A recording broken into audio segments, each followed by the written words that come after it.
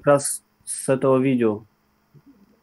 Сейчас это сделать. Да, да. Я, я тут сижу, думаю, видео показывают. Не, ну, каждый раз, каждый раз, когда будет выбрасывать, просто заходите по той же ссылке, получается, через минуту, и, и нормально. Ага. Так. Так, демонстрацию экрана не соображу, как включить. Ну, как в прошлый раз там. Да, есть? совсем поменялась у меня эта тема. Так. Все. А, все, все, нашел, нашел эту стрелочку. Ага. С, с самого начала, ну, чуть там несколько секунд прокрутить этого видео и можно. Демонстрация.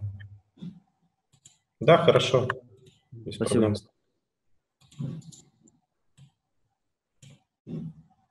Проблем. Она фри-версия, бесплатная.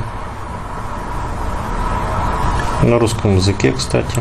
Это видели, да? Алло. Так, вроде, вроде нет, или что мы видели это? Инвизалиус, бразильская программа вот эта. Да, да, да. Ага. Ну ладно, давайте про, не, про эти две программы, потом я еще добавлю. Грузим DCOM файл в нее. Можно, кстати, проверить. Хорошая программа для DCOM просмотров это Радиант. Да, вот КТ. Вот это КТ DCOM. Выбор папки. Здесь я объяснял, не знаю, слышали вы, э, что надо использовать КТ. Потому что в КТ, например, с контрастом сосуды идеально видны, а с, с МРТ как в трехмерной модели создавать, ну, я не знаю, с КТ, по-моему, всегда создают. В общем, и кости ясно, ясно. Здесь теперь выбираем нужное количество э, изображения. Здесь количество слоев важно чтобы нормально э, трехмерное изображение было, нужно хотя бы вот 246 слоев.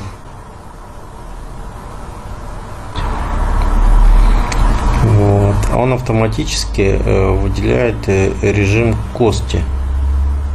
В принципе, нам с костью и работать. Можно подредактировать, увеличить. Вот здесь обратите внимание, то, что режим кости автоматически это для взрослого сделан. Для ребенка у него э, вот основание черепа, где скат, глотка, вот видите, там не, не все кости выделены.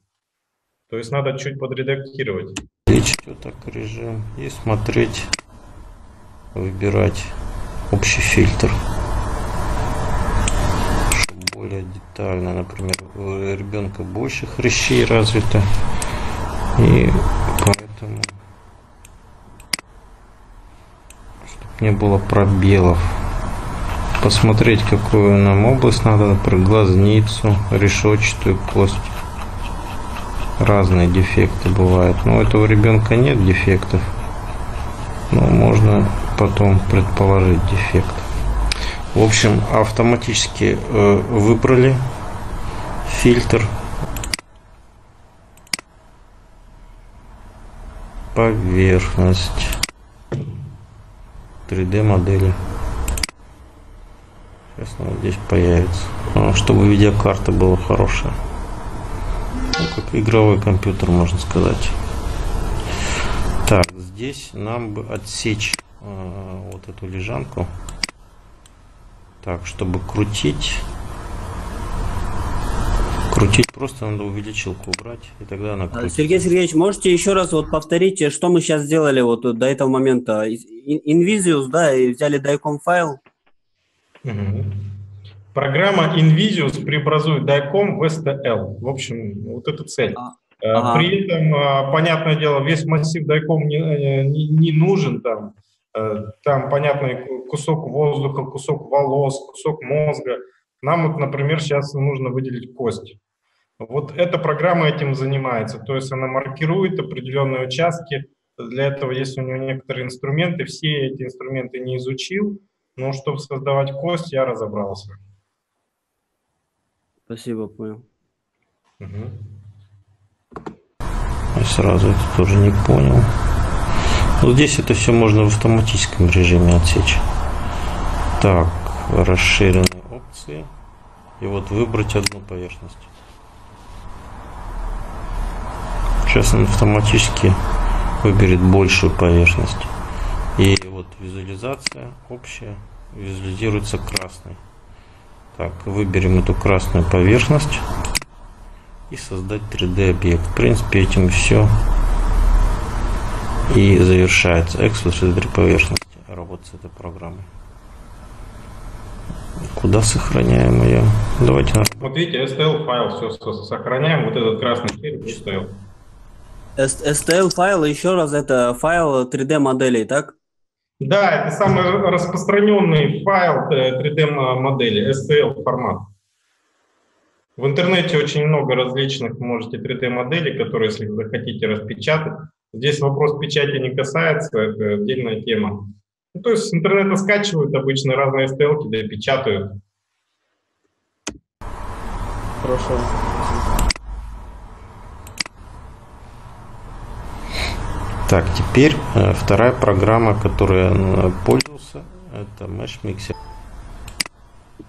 То есть, а, видите, от Autodex э, фирма, но она пока ее до конца как бы не обработала, в ней встречаются ошибки, поэтому она бесплатная, эта программа. Можете скачать Mesh Mixer тоже.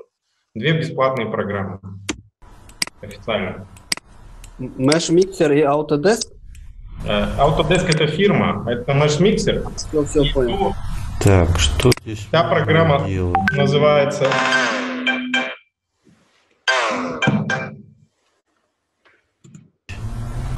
Так, ну тогда сделаем больше.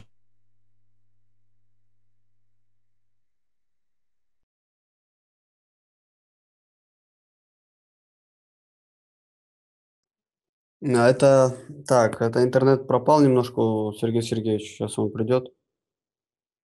Угу. Вот эти программы, интересно, они ангиографию тоже позволяют, да, 3D-реконструкции сосудов делать? Да, да, да. Угу. Есть, тут, тут у нас есть второй эксперт, если что, тут в чате пишет, у него, по-моему, со звуком проблемы. Айдар. Простите, я забыл, что у меня здесь такая, что телефон, э, через телефон интернет. Да, да, да, я как раз за ребятам говорил, что чуть подождать надо. Интернет. Да, да, я специально, считайте, как бы, ну не специально, конечно, но это косяк мой. Сергей Сергеевич, а тогда этот, э, ну, прокрутим вот эти моменты, чтобы чуть побыстрее это все понять, потому что, опять же, время. Давай, давай, давай, все. Прокрутим, Идем. имеется в виду моменты, где вот можно прокрутить видео. Ну, короче, здесь, э, если, например, человек хочет э, вот увидеть, как создавать модель, здесь каждый момент может быть важным. Ну, а если в общем хотите поинтересоваться, я, я что здесь сделаю? Я, во-первых, череп перевел он более гладкий стал. Я его solid функция есть. Потом демонстрацию я... экрана можно? Не видно демонстрацию экрана. Сделайте, пожалуйста. А, все, все, все, сейчас сделаю. Сейчас, сейчас.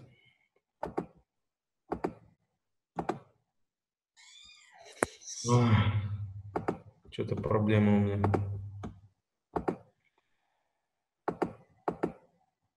Главное, меня видно, да? Тут как раз говорили, а, ангиографию тоже можно, да, распечатать, получается? Конечно, конечно. Я -то тоже эту модель редактировал, но еще пока не печатал, потому что там сосуды тонкие, и вот этот простой принтер, э, нужно поддержку под эти сосуды, а поддержка толще, чем эти сосуды. И вот пока еще как бы особо мне никто это не просил, директор мне никогда это не просил, ну и я как-то не дошел до этого.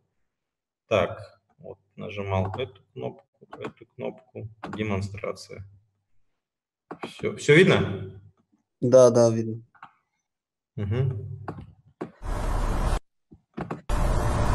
То есть э, э, еще один раз вот э, покажу. Вот модель изначально такая более многоточечная, с нее ошибки будут. Mesh Mixer не сможет работать, потому что ошибки. Поэтому я придумал делать Solid, Make Solid, если вы видите недалеко возле стрелки и в итоге она у меня стала более гладкая. Потом э, дефекта у ребенка не было, я его создал, кисточкой выделил.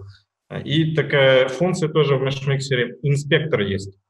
Он закрывает, то есть всегда 3D-объект, он представляет себе полую структуру. Вот череп вот этот, не смысле внутри он полый, а то, что вот, под, вот в любом месте возьмешь поверхность коски внутренняя и наружная, между ними пустота. То есть э, воксели направлены в ту или в эту сторону. В общем, нужно всегда их потом закруглять. И вот в Mixer есть инспектор, он это все закругляет. Вот. Потом, что я делаю? Я, чтобы ровные разрезы делать, потому что разрезы изначально, они параллельны по плоскостям, x, y, я выравниваю объект относительно стола и разрезаю его. Сначала я зеркальное отображение сделал, противоположной части. Ну, это вот как реально, если хочешь пластику дефекта черепа, также и глазницы я тоже так делал, интересно был, один раз я делал. Так, ну, примерно вот от, э, часть. Потом из этой части, в принципе, можно отрезать все лишнее, выравниваешь ее. Сейчас. Что интересно, никогда, никогда не совпадают, все очень как индивидуально. То есть э, вообще по толщине кости не совпадает, по углам поворота не совпадает. Э, поэтому все приходится редактировать, дорезать. Для этого разные, не только эта программа, есть и э, другие программы, специальные медицинские, э, которые деньги стоят, программы есть. В них я тоже пробовал работать, но как бы э, если было бы у меня время, я бы более детально. Вот в этой как бы я более детально разобрался. Ну, э, ту ссылку скину. То есть вот так вырезаешь кусок кости, который нужно вставить лишнее, чтобы память не занимала компьютера. Как-то и... Она... Видите, э, получается, насколько она толще, кость э, противоположная, не совпадает. По которому можно это отредактировать. Главное, чтобы внутрь имплант не выпирал, поэтому нужно добиваться, э, вот, чтобы наружу, и потом все, в принципе, излишки, излишки срезать тем или иным методом. В этой программе очень, в принципе, много инструментов различных. Можно выделение, можно кисточкой сплавлять, можно плоскостями резать.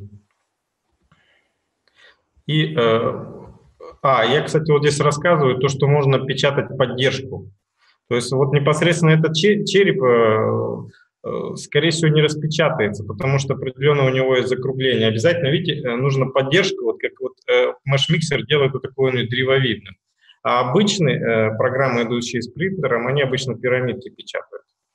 Э, такие столбики. Ну, тоже поддержка. Но мне машмиксерская интересная поддержка нравится. Их потом а, а, что, а что такое поддержка? Вот я не понимаю, кто-нибудь понимает? Я не понимаю. Объясните, пожалуйста. Ну, смотрите, очень просто объясню. Вот печатаешь ты вот такого человечка, да? Вот ноги его нормально, послойно, послойно, послойно печатаются вот отсюда. Будет идеальный человечек. А что произойдет, когда вот этот слой, то есть он начнет его печатать, вот здесь останется, а вот этот на пол упадет. Руки, он а, будет человек без рук. Он полностью с головой напечатается от ног до головы, а вместо рук будет лапша, очень такая смешная лапша, которая будет лежать внизу. А, понял. И поэтому в некоторых, где э, углы вот эта программа рассчитывает, и в эту ну, точку посылает поддержку. Разные программы для этого есть. Но они обычно всегда идут вместе с принтером. Mixer у него отдельно есть э, для этой поддержки функция. Бразия. Так. Причем это не только пластика. Вот в жидкости, оказывается, тоже нужна поддержка. Вот э, смола э, при определенных заворотах фигуры без этой поддержки, потом ее всегда обламывают. То же самое в металлах. Э, тоже требуется, представляешь, металлическую поддержку, она там, не знаю, спиливать, там, типа болгарки нужно спиливать, поддержку. Э, в ролике вы видели, как парень пластмассовую поддержку вот так черкал, шлифовал и там так далее. Да, да, точно, точно. Геморрой такой вот с этой поддержкой, это всегда есть. Вот только говорят, что поддержка в гипсовом не нужна поддержка, потому что вот он так равномерно, очень нежно этот гипс склеивает. Там же как он и красит, и клеит его. И не нужна поддержка в металлическом, который я показывал, э, электронно-лучевая трубка. Почему-то тоже очень нежно с порошком работает, тоже поддержка не нужна. Во. Тогда мы перемещаем. И меняем угол.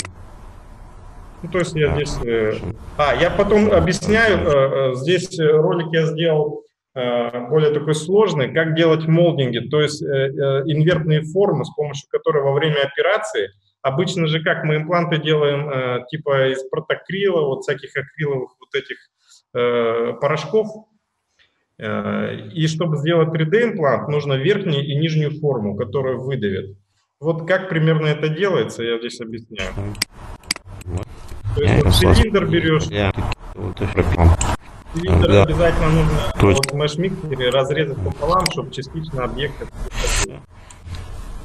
и также э, методом отнимания, здесь болинское отнимание математическое, получается, ну, здесь до конца я это не показываю. Здесь потом нужно э, также это кисточкой все срезать. Я еще рисовал пирамидки опорные друг друга. То есть это более так сложно.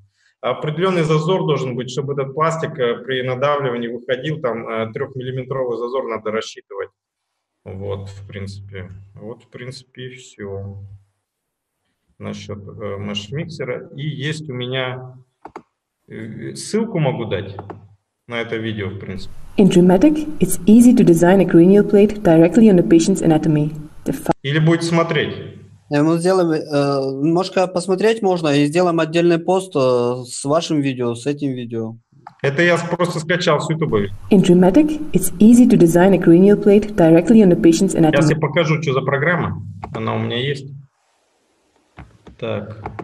Здесь, кстати, ее два вида. Одна программа, она подобна, получается, вот этой итальянской. Она создает из дайкома Так. Дистер, Яндекс Диск.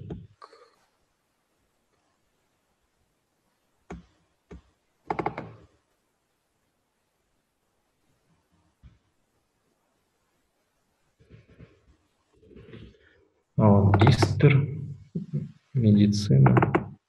Вот, фирма называется, если захотите эту программу скачать, в принципе, можно ее найти. Я нашел, но не сразу. Э, материализы. И вот э, две э, программы, вот такие именно названия вот получше, потому что долго я искал, чтобы найти. Одна из них создает, вот как Mesh Mixer примерно, объекты с 3D, с STL работает, а другая работает с дайком файлами, создает STL, и сразу они автоматически переносятся. Не, не очень хорошо видно, можно название? Э, получается, фирма сама материализы. А как увеличить, может, можно? Или что? Как я могу сделать? Да. Не видно совсем? Ну, я, я, я с телефона, может, другим видно, не знаю. Угу. Вот материализа 3 э, Matic э, Medical. Ага. 13 версия. И Mimic Innovation э, Suite тоже Medical. А, говорят, все видно, все видно, видно, нормально. Другим видно. Угу, угу. Ну вот, вот этот ролик, он в принципе, как это он делал?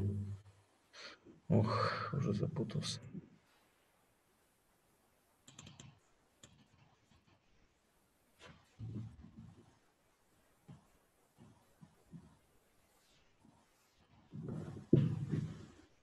In Dramatic, it's easy to design a cranial plate directly on the patient's anatomy. The fast and flexible semi-automated design tools allow you to design patient-specific cranioplasty prostheses with an even or variable thickness. As a first step, we open the project containing Ну, здесь, наверное, тоже ускорю, потому что такой довольно длинный ролик. The skull model wrap. Он его приводит тоже, делает из него форму, которую он может э, математически вычислять, она синяя становится, э, создает контуры. Здесь по-другому совершенно работает. Делают э, симметрию, относительно которой будет потом создано зеркальное отображение Ну, то есть мы из симметричного участка берем грубый такой пример. Да, потом... в принципе, это всегда так делается, потому что, ну, лепить-то можно из воздуха, но это очень сложно. А, всегда симметричный участок э, берем. Бывает, конечно, дефект, вот э, там был он э, задевал эту сторону и уходил на эту, ну, тогда чуть-чуть дорисовал. Я, например, брал э, какой-то объект же все равно брать, можно либо рисованные цилиндры, а мне проще было взять, вырезать из другого места кость, сюда вставить и подточить ее, ну, чтобы полноценный объект получился. Да, да, понял. Вот здесь есть функция редактирования в 2D, такая очень интересная функция. Ну, намного сложнее, чем микс-миксер, хотя при, к всему привыкнешь, ничего сложного не будет. Вот здесь они проверяют по толщине, тоже создают имплант. А, также есть функции автоматического скругления. Там приходится в нашем миксере кисточкой скруглять, а здесь э, определенный угол скругления можно задавать. И дырочки автоматически. Ну, в машмиксере тоже все это можно делать, но там более как бы э, сложнее. Если в этой программе разобраться, будет удобней. Ну, в принципе, все так. Угу. И вопросы? И получается, этот файл отправляется принтеру, и принтер печатает, и все? Да, то есть э, э, смотря какой принтер, э, в принтере сама, сам принтер еще работает со своими программами, где он переводит STL-файл в G-код. G-код – это последовательность движений головки во времени. То есть как будет даже, например, слой напечатают, она подвинется вот так, где начинать второй слой, Э, как сделать? Сначала э, всегда печатают, получается, э, контуры, там программируешь вот этот, как ему G-код вычислять, толщину стенок. По автоматически материал экономится и 30% заполнения. То есть вот любой... А, Сергей Сергеевич, тут в чате спрашивают, почему выбрали ППО именно такое. Говорит, есть ZBrush, есть, сейчас почитаю, 3D-слайсер или что там писали. Сейчас. 3D Max. 3D Max, вот, э, как бы. С плагином FMS. Вы, вы не использовали такое? Нет, я не использовал. Я 3D Max скачивал, но я не увидел, что он может работать с STL. А, а кто, я... кто спрашивал? Может, скажете, почему... почему я, например. Э, пользовался Autodex с 3D Max, чтобы создавать э, геометрические модели, то есть довольно-таки сложные. Может, тут он имеет в виду, что он с плагином пользуется, нет? С определенным, который можно использовать. Да, да, говорит, да. Айдар говорит, да. Плагин. Но там невозможно в 3D Max же работать с STL. Там он работает только с геометрическими линиями. Можно, говорит, можно, Сергей Сергеевич. Очень интересно посмотреть, как это делается. Я э, в, э, в Autodex. А, нет, это совместно с ZBrush плюс 3D Max с плагином определенным. Вот угу. здесь можно, говорит, или отдельно ZBrush можно там. ZBrush не, не пользовался. ZBrush, возможно, он 3D Max что-то я сомневаюсь, что можно, потому что я загружал его. А вот. еще вот такой э, приземленный вопрос немножко. Вот если я вот а, обычная больница, хочу 3D принтеры у себя, вот какой посоветуете, вот цена-качество, там, принтер, там, знаете, по, по названиям? Э, какой посоветую? Э, реально я пользовался только китайскими принтерами. Ребята, вот, э, которые они советуют, сейчас из головы название вылетело, ну я, короче, выбрал импринта из российских принтеров, я импринта захотел. Ну хотя специалисты, которые в Москву я ездил, они говорят, нужно немецкие выбирать принтеры, другое качество совсем. А сколько стоит в среднем?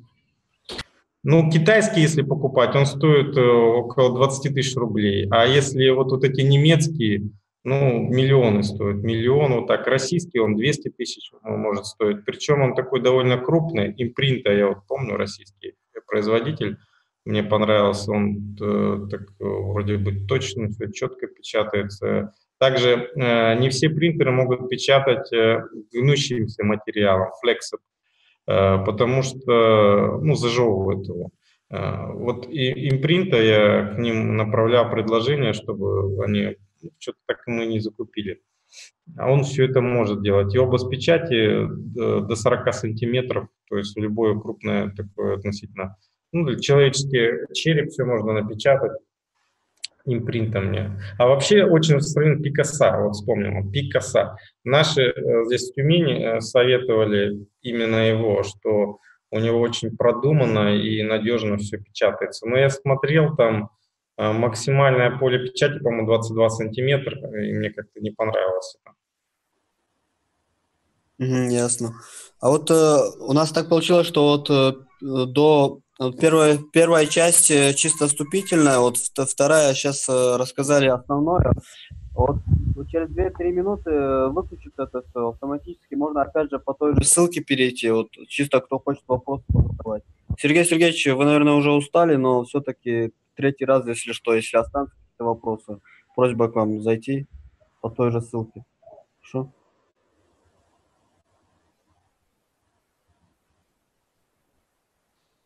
Так, у кого есть вопросы еще?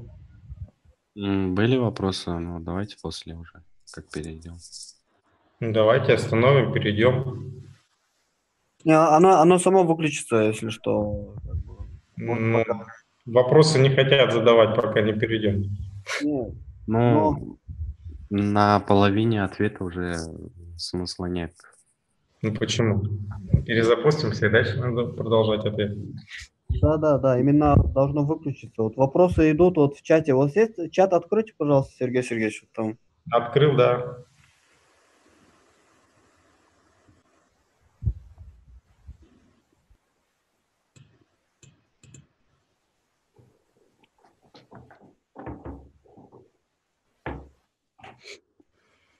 Это уже наводящие вопросы на первый вопрос, нет? Я вот первый читаю.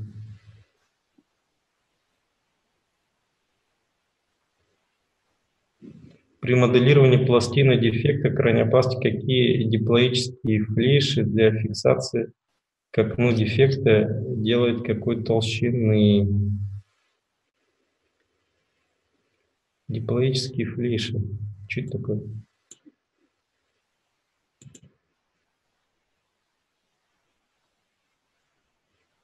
Ну да, форамины можно, конечно, сделать.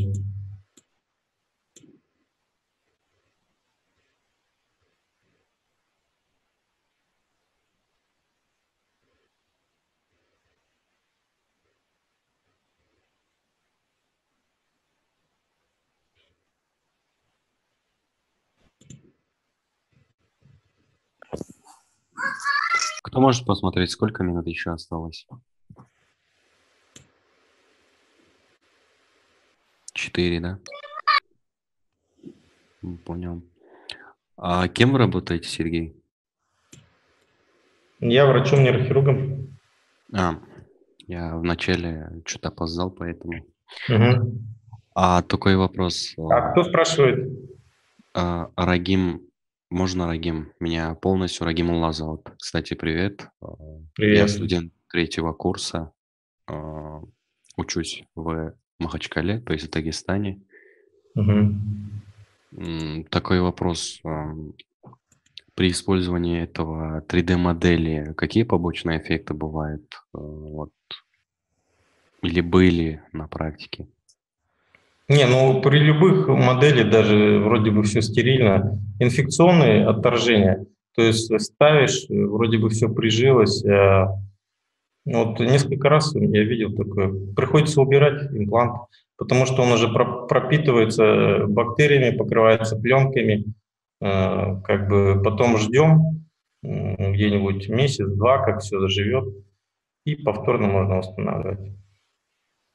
А в практике вообще вероятность какая возникновения инфекции? Вероятность. Ну, где-нибудь 5%, где-то так. Из скидку. 100, да? Да, я не вел э, эту документацию. Примерно э, 5%, каждый 20 случай, да. Спрашивают про пресс-формы и костную Да, еще вопрос задают там в М? чате. Мне кажется, это в ст- в сторону побочных эффектов. э, Костный цемент, он же делать тоже. Там же нормально все, мне кажется. Да, не обязательно 3D-модели. Я вообще говорю про импланты. Они особую разницы на 3D он напечатан, не на 3D.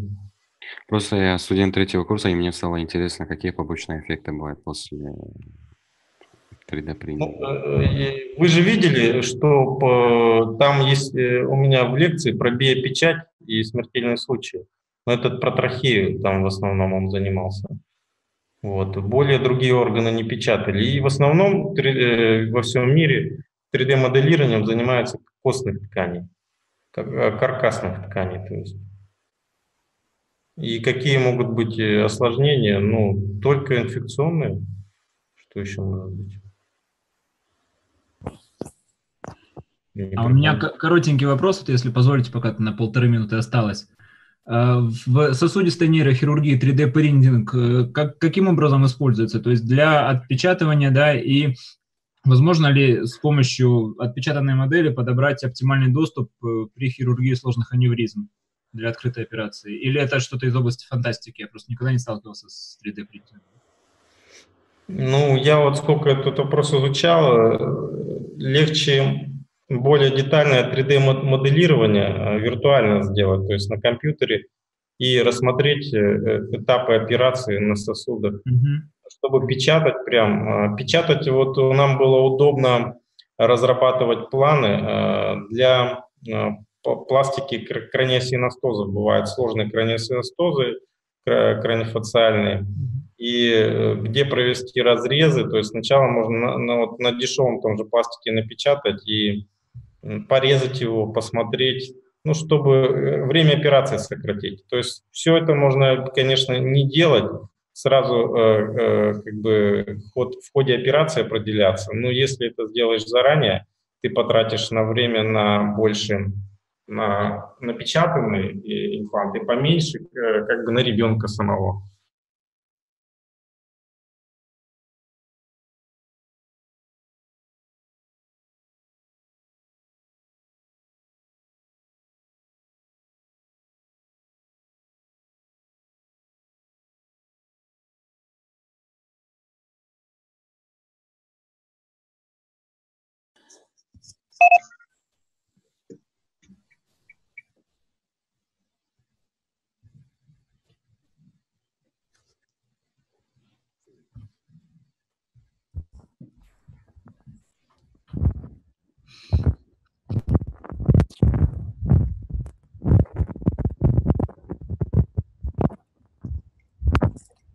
Ибрагим, тебя не слышно. Так, меня слышно же, да? Сейчас. Да, да, вот сейчас слышно. Что же? О, Сергей Сергеевич тоже вот пришел, все. Можно а, кстати, продолжать. вот такой вопрос всем. А, давайте вот закончите вот этот вопрос потом. Я должен ответить на какой-то вопрос, извиняюсь. Я не понял. Да-да-да, отвечайте. Какой вопрос? Я не понял. Насчет э, вопроса Никиты про сосудистую хирургию. Вроде на этом остановились. Ну, я, я, я понял ответ, я понял ответ. Спасибо. Ну, просто как бы объяснил вроде как. Нет, нет, все, все, я понял, хорошо. А вот как То есть в идеале э, сосудистую хирургию можно напечатать э, на гипсовом принтере, но у меня не было такой возможности. Очень красиво можно это напечатать отпылесосить и как и рассмотреть. Э, ну, здесь э, как бы можно визуализировать для пациента там какого-нибудь, я не знаю, особенного этого. А мне кажется, а, можно и для того, чтобы вот соотношение э, между собой структур, там, аневризмы к там, нервам. Не, ну это же можно более детально, то есть если не, в самом же КТ, да, есть аппарате, вот визуализация такая предоперационная принципе, Там не всегда удобно, когда вот они, допустим, с передним расположением аневризма, да, когда не видно купол или как-то вот, э, вот эти моменты, да, вот я с этой точки зрения спрашивал. Угу. Есть просто программа, может быть, более детально можно это все а, вручную как-то подработать. Вот Амира, она тоже работает э, с преобразованием дайком в STL, и а, там в цветах можно это красить. Ну, в принципе, Все зависит от разрешающих способностей самого КТ. Если оно нормально сосканировано, на самом КТ можно увидеть эту трехмерную сосудистую структуру. А если ты от, рука, от руками ее дорисуешь, ну это, ну это фантазия. Будет, может быть, красивше видно, но... Э, а вот, э, Сергей Сергеевич, мне говорили, что вот дайком файлы, типа, они как-то защищены, и их вообще нереально, получается, взять вот. Э, есть, по-моему, а что там, почему сложно? То есть они как-то защищены? Или... такого, я не знаю. Запросто эти DICOM файлы, э, я вот, например, на работе настроил у себя Radiant, очень такая хорошая программа, э, четкая, даже она лучше, вот, например, по всей сети настроенная платная, вот Siemens или как там, но она хуже 3D-объекты рендерит, чем Radiant. И я с помощью радианта, например, я, у меня настроен у нас сервер, где непосредственно файлы на, на вот КТ, МРТ полностью за все времена могу добыть и сохраняю на свой компьютер дайком файлы а, полностью, и как бы потом работаю с ними, и все. В архивированном виде сохраняете либо или так? Или как там? Да нет, он создает э, множество файлов, то есть он создает папку по фамилии. Папку, папку, ага, ясно, ясно. И, соответственно, там же бывают разные сканы, каждый скан состоит из слоев, и на каждый слой свой файл.